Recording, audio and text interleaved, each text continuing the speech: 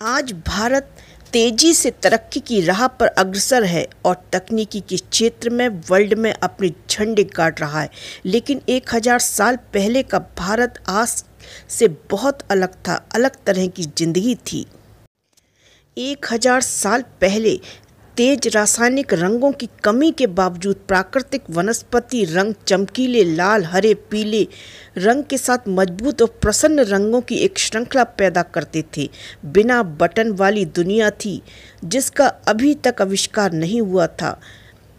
कपड़े अभी भी क्लैप्स और पेटी से बंधे हुए थे, जीवन छोटा था। समुदाय आमतौर पर छोटे और आपस में जुड़े हुए थे, जिनमें लोग गाँव और बस्तियों में रहते थे। घर आमतौर पर साधारण होते थे, जो लकड़ी, छप्पर और मवेशी और डब्बे से बनाए जाते थे। अक्सर उन आधुनिक सुविधाओं का अभाव होता था, जिन्हें हम आज अपनी ज़िंदगी में ज़रूरी मानते हैं। बहुत शांति होती थी, प्रदूषण रहित भारत, कच्चे मिट्टी के मकान, दीवारों पर भी मिट्टी और गोबर का लेप होता था, जिसमें गर्मी में अंदर से ठंडा और सर्दियों में गर्म रहता था। आज की तरह से ऊँची बिल्डिंग नहीं होती थी, जिससे सनलाइट सीधे घरों के अंदर पहुँचती थी, जो विटामिन डी का अच्छा स्रोत है। पेड़ पौधे इतने की गर्मी आजकल की तरह ज़्यादा नहीं थी। बच्चे और पुरुष आमतौर पर नाम मात्र के लिए कपड़े पहनते थे।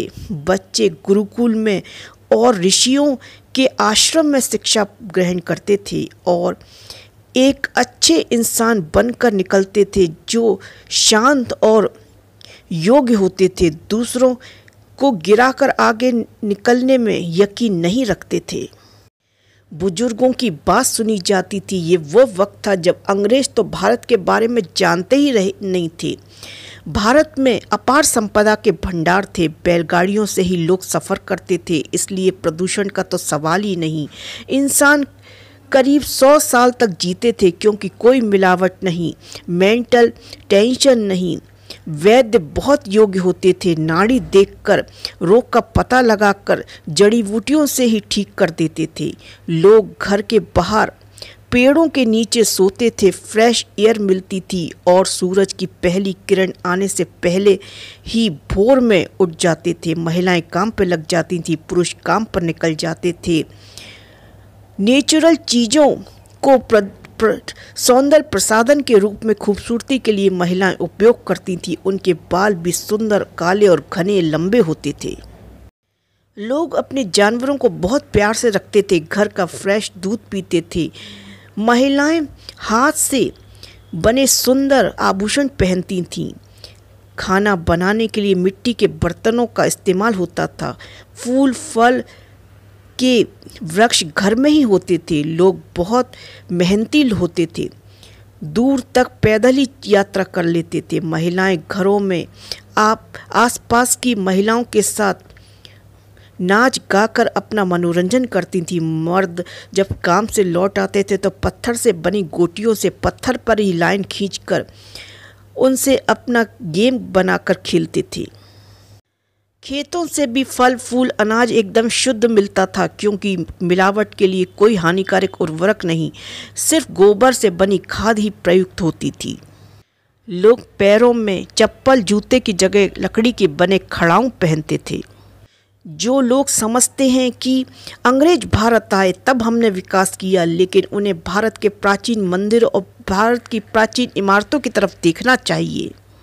ये है भारत का ब्रदेश्वर मंदिर। इसकी टेक्नोलॉजी देखिए, खूबसूरती, नक्काशी देखिए, इसका भारी गुम्मत देखिए। ये मंदिर दो मंजिला पर स्थित है। ये भारत की सबसे अखंड लिंग मूर्तियों में से एक है। शिखर एक्यूल पॉलिक गुम्मत 25 टन का अष्टकोणी है और ग्रेनाइट का एक ही ब्लॉक पर टिका हुआ है जिसका वज़न 80 टन है।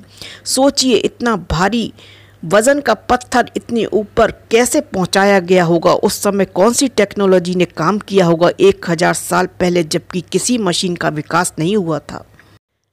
ये है एक हज़ार साल से भी ज़्यादा पुराना लेपाक्षी मंदिर। इस मंदिर के पिलर के नीचे से कपड़ा आसानी से इधर से उधर पार किया जा सकता है।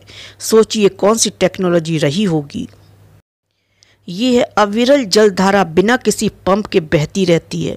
इसमें कौन सी टेक्नोलॉजी लगाई होगी हमारे पूर्वजों ने? ये हैं भारत के प्राचीन एक हज़ार साल पहले के मंदिर। सोचिए बिना किसी मशीन के सिर्फ़ छेनी और हथौड़ी का कमाल है। कितने खूबसूरत मंदिर बना दिए हमारे पूर्वजों ने। सिर्फ़ छैनी और हथौड़ी से। यानी कि एक हज़ार साल पहले भी बिना किसी एडवांस टेक्नोलॉजी के, बिना किसी खास मशीन के, ये देखिए, आपको जो डमरू दिखाई दे रहा है, ये लकड़ी का नहीं, ठोस पत्थर पर उकेरी गई। खूबसूरत प्रतिमा है, सिर्फ़ चैनी और हथौड़ी का कमाल है।